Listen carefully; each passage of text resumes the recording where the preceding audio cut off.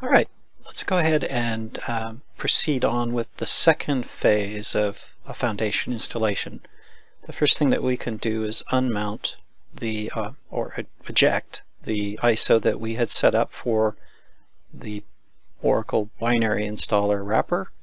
And we can go back into our location for our binary installs. I had staged those on this drive, on the E drive, under IT Analytics Installers, and I can now go to the actual ISO for the IT Analytics installer. Once again, we just mount the ISO. And again, with uh, clicking on that setup, running that as administrator, we'll launch this installer. Once again, quick uh, checks for various requisites. And again, we'll need to scroll through this license agreement in order to be able to accept it. Very fine to go ahead if, if you've done, as we are, an installation of the database on the same server. You can leave this as localhost and um, the domain name that would that we would be seeing here in in my environment the local domain is called RSV uh, so that would be fine and you can see that we would actually end up with a, a portal URL that would be itanalyticsportal.rsv so in the case of a business you might this might be company.com well, you get you get the point uh, I'll go ahead and leave this as RSV for this purpose. You can update this and change it later if you need to. The other thing is that even though we default location for the basic binaries on the C drive, it's very common that you would not want a lot of content to be written there. And so you would have an opportunity, as we will do so here, to place where the actual data files for Oracle will be created. In my case, my E drive has uh, enough space for um, for that purpose, for that installation. You can see that I've got just under 200 gigabytes available. So I can click next here. We get a prompt for the validation that our binaries would go onto the opt and we click next.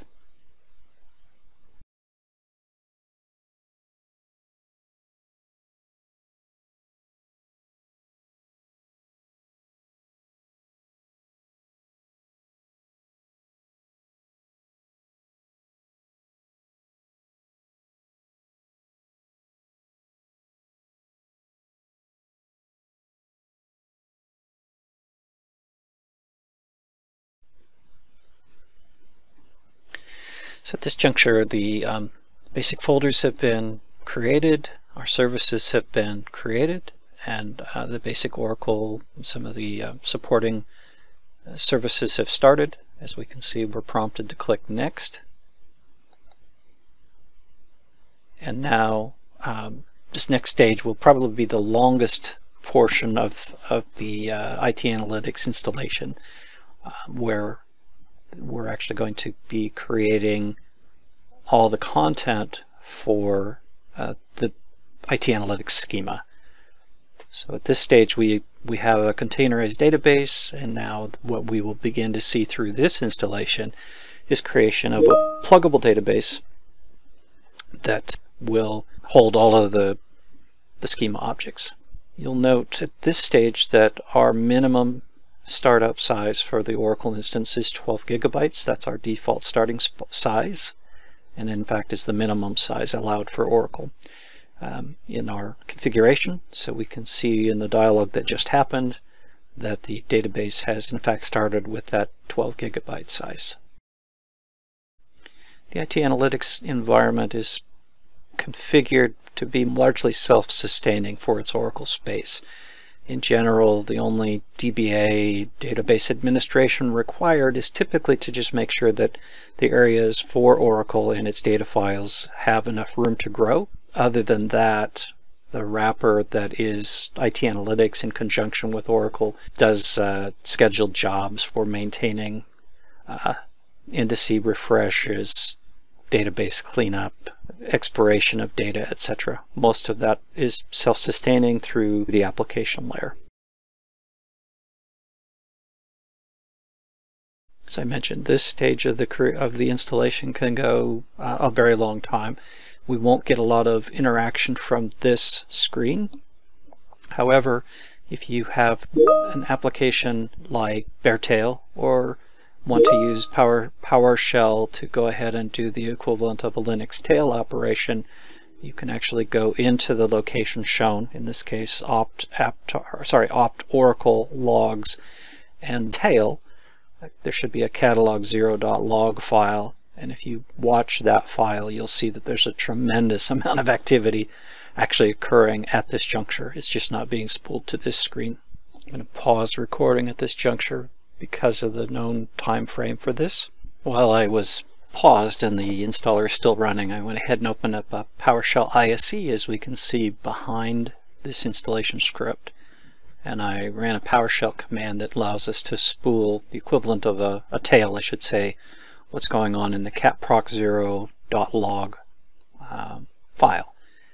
And the main purpose for that, besides the fact that I'm impatient and like to like the gratification of seeing things happen, is to share that same information in the video to let folks know that even though this installation top screen doesn't seem to be doing much, if we look at the the, the activity being logged, it's actually tons of um, SQL operations to to continue to create this schema for us.